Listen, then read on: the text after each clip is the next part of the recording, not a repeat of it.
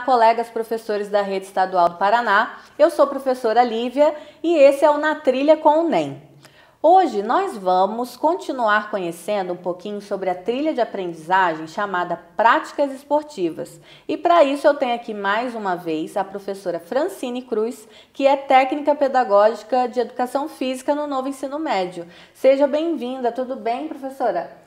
Tudo bem, Lívia? Muito obrigada. É um prazer sempre estar aqui com você e também conversando com os nossos colegas professores da rede. Muito obrigada pelo convite. Isso. Então, nós vamos falar, né, mais um pouquinho sobre essa trilha que é de interesse, né, dos nossos estudantes, dos nossos professores também, que é a trilha de práticas esportivas. No vídeo anterior, nós falamos um pouquinho sobre a primeira sessão temática, né? Então, hoje nós já vamos direto ao assunto e vamos falar sobre a segunda sessão temática. O que está previsto então para essa sessão, Francine? Para a segunda sessão temática estão previstos os esportes de marca, são aqueles então em que pode ser medido, né, ou por distância ou por tempo. É, por exemplo, o atletismo, que se marca hum, em segundos, né, quem correu mais rápido ou quem lançou mais longe.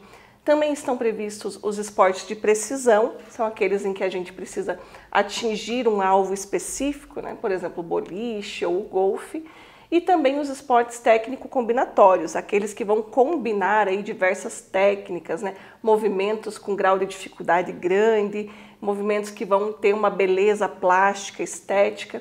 Então, por exemplo, as ginásticas né, são um grande exemplo desses hum, esportes. Uhum. Então, ginástica artística, ginástica acrobática, são exemplos desse tipo de esporte.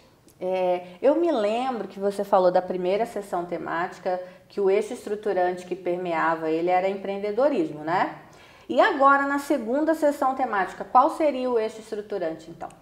Na segunda sessão temática, nós vamos ter dois eixos que hum. vão permear.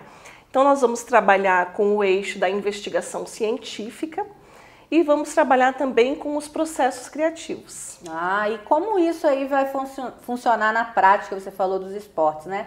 Do atletismo, né? E da, na prática ali docente, como isso funciona?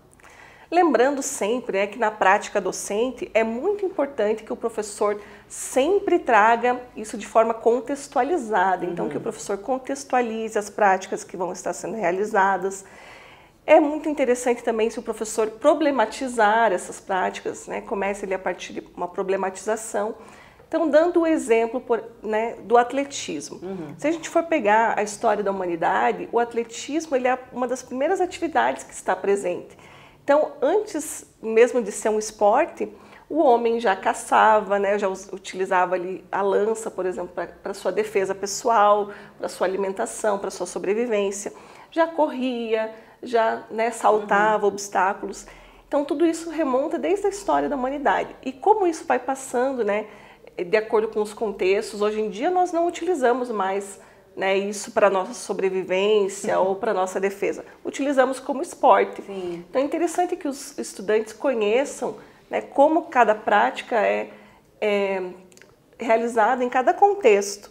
É, e também é, pensando né, em toda essa visão de mundo que se tem em determinadas épocas para cada prática. Quando a gente pensa também né, ali eu falei da, do eixo de investigação científica. Né? Nós podemos pensar também na questão do próprio atletismo, é uma prática que cada segundo conta.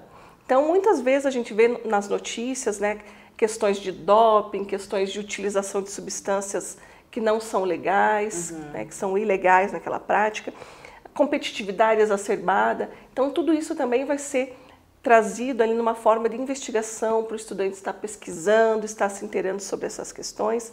E falamos também ali das questões dos esportes técnico-combinatórios, as ginásticas, que tem essa questão da beleza plástica, Sim, né, da beleza estética, que vai estar muito relacionada à questão dos processos criativos também. Então, todas essas práticas ligadas aí com os eixos que vão estar sendo trabalhados.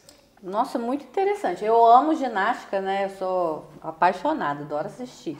Mas não sei se eu seria tão boa nessas práticas. Enfim, mas vamos lá, né? É, falando então sobre o protagonismo juvenil, como ele se desenvolve então nessa segunda sessão temática?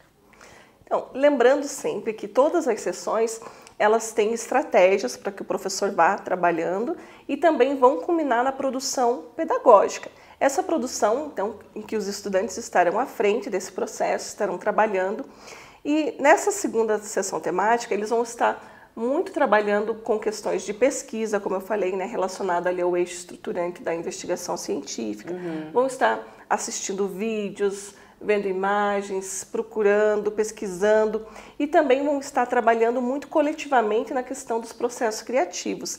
Então esses estudantes eles vão estar é, diretamente ali trabalhando, protagonizando, juntos, né, exercendo a sua liderança também. Quando a gente trabalha em equipe, né, precisamos exercer a nossa liderança, a nossa cooperatividade e tudo isso vai auxiliando então nesse processo do protagonismo estudantil. Ai, com certeza. Estou ficando animada e acho que os nossos colegas também, né? É, muito obrigada, então, pelos esclarecimentos sobre essa segunda sessão, tá bom, Francine? Eu que agradeço mais uma vez a oportunidade. É sempre um prazer falar sobre a trilha de práticas esportivas. Isso, só que está faltando ainda falar da terceira sessão temática, só que isso vai ficar para o próximo vídeo, tá? Muito obrigada você, colega que assistiu até aqui. E esse foi mais um Na Trilha com o NEM.